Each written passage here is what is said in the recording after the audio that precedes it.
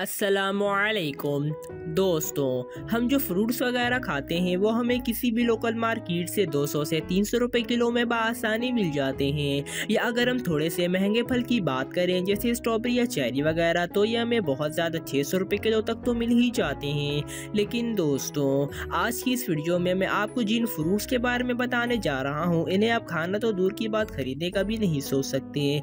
तो हमारे साथ आखिर तक बने रहिए। सो लेट स्टार्ट डिकोपॉन किट्रस दोस्तों, ये फल ऑरेंज और मैंडीरिन का एक कॉम्बिनेशन है। ये फल जापान में पाया जाता है। इस फल को पहली बार 1972 में काश्त किया गया था। वैसे तो ये फल देखने में बिल्कुल ऑरेंज की तरह ही लगता है। लेकिन दोस्तों, लोगों का ये कहना है कि ये फल किसी भी आम ऑरेंज से कई ज़्यादा मीठे और रसदार होते हैं। इसके अलावा इस फल को सर्दियों के लिए काफ़ी ज़्यादा मुफीद भी माना जाता है।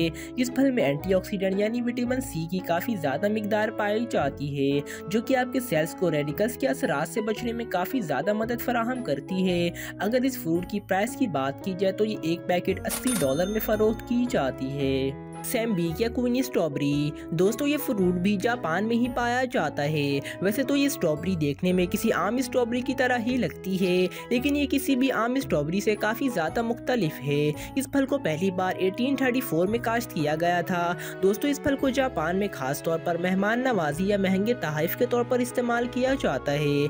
अगर इस फ्रूट की कीमत की बात की जाए तो इस फ्रूट का एक पैकेट नाइन्टी डॉलर में सेल किया जाता है। लेकिन दोस्तों, इस फल के महँगे होने की वजह क्या है? तो इसके पीछे की वजह यह है कि इस फल को बहुत ज़्यादा मेहनत से काश्त किया जाता है। इस फल के पौधों को इस तरीके से लगाया जाता है कि वो ज़मीन को टच भी नहीं करते हैं। इसके अलावा इस फल को मशीनों के बरक्स हाथों से काश्त किया जाता है। Square watermelon. दोस्तों, ये वाटरमेलन किसी आम वाटरमेलन की तरह ही होता है, लेकिन इसकी सबसे अमेजिंग बात ये होती है कि ये बिल्कुल क्यूबिक शेप में होता है, जो इसे किसी भी आम वाटरमेलन से बिल्कुल मुख्तलिफ़ बनाता है। लेकिन दोस्तों, सोचने की बात यह है कि आखिर ये वाटरमेलन क्यूबिक शेप में तब्दील कैसे हुआ?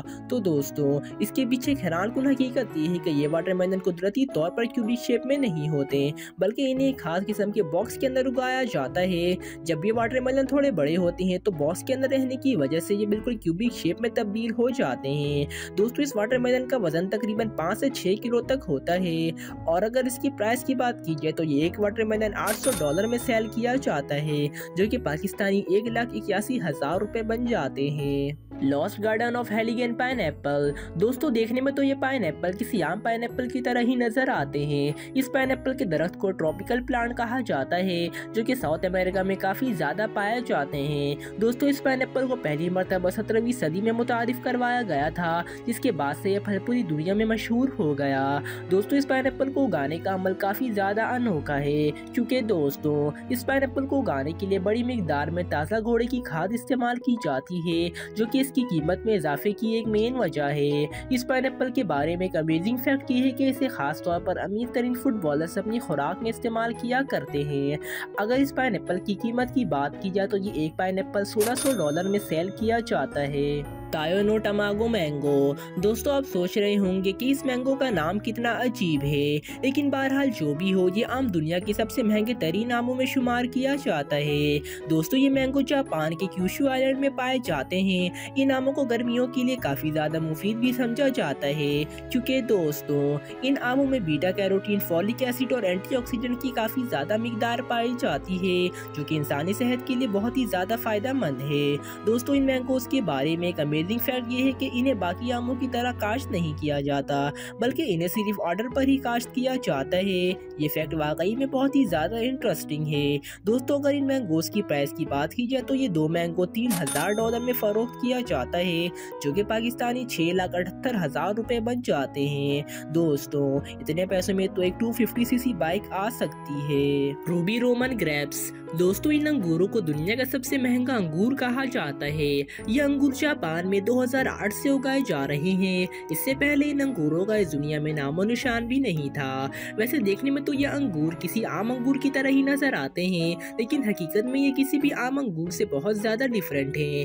दोस्तों, इन अंगूरों का कलर बिल्कुल रूबी की तरह रेड कलर का होता है। इसके अलावा ये किसी भी आम अंगूर से साइज़ में भी काफ़ी बड़े होते हैं। दोस्तों, आप यकीन नहीं करेंगे की इन अंगूरों का इस्तेमाल महँगे तरीन वाइस में भी किया जाता है। अगर इन अंगूरों की कीमत की बात की जाए तो इनका सिर्फ़ एक गुच्छा अच्छा साढ़े आठ हज़ार डॉलर में सेल किया जाता है। युबारी किंग मेलन दोस्तों, ये है वो फल जिसे दुनिया का सबसे महँगा फल होने का खिताब हासिल है। मगर दोस्तों, आखिर सोचने की बात यह है कि ना तो ये फल बहुत ज़्यादा बड़ा है और ना ही इस फल की रंगत बहुत ज़्यादा अट्रैक्टिव है। तो फिर ये फल इतना ज़्यादा महँगा क्यों है? तो दोस्तों, इसके पीछे तीन मेन वजह शामिल है। इसमें पहली वजह यह है कि एक जापानी रिवायत के मुताबिक इब्तदाई सीज़न के दौरान काटी जाने वाली पहली पैदावार पर आला नीलामी की बोली लगाई जाती है, जिसकी वजह से यह मामूली से दिखने वाले फल एक हज़ार से तीस हज़ार डॉलर में फरोख्त होते हैं। दूसरी वजह यह है कि इन्हें बाकी फलों की तरह बड़े रकबे पर नहीं उगाया जाता, बल्कि इन्हें बहुत महदूद हिस्से में उगाया जाता है। और दोस्तों, तीसरी वजह यह है कि इनको उगाने के प्रोसेस में वॉल्केनिक एश का भी इस्तेमाल किया जाता है। दोस्तों, अब जो बात मैं आपको बताने जा रहा हूँ, इसे सुनकर आपको बहुत ही जोरदार झटका लगेगा। दोस्तों, इस फल के सिर्फ़ दो पीस पैंतालीस हज़ार डॉलर में सेल किए जाते हैं। अगर इन पैसों को पाकिस्तानी रुपए में कन्वर्ट किया जाए तो ये तकरीबन एक करोड़ एक लाख सत्तर हज़ार रुपए बन जाते हैं दोस्तों, इतने पैसों में तो आप दो टोयोटा वीगो खरीद सकते हैं। और ये थी आज की वीडियो। अगर आपको हमारी ये वीडियो अच्छी लगी हो तो इसे लाइक कीजिए, हमारा चैनल सब्सक्राइब कीजिए और वीडियो को ज़्यादा से ज़्यादा लोगों तक शेयर कीजिए। शुक्रिया।